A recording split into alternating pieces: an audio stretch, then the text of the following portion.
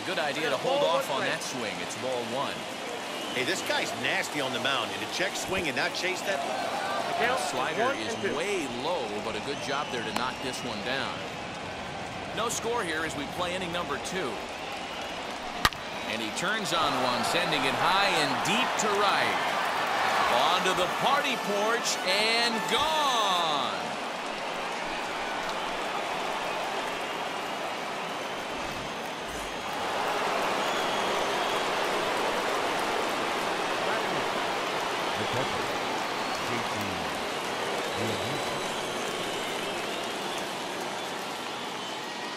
At the plate, JT Realmuto.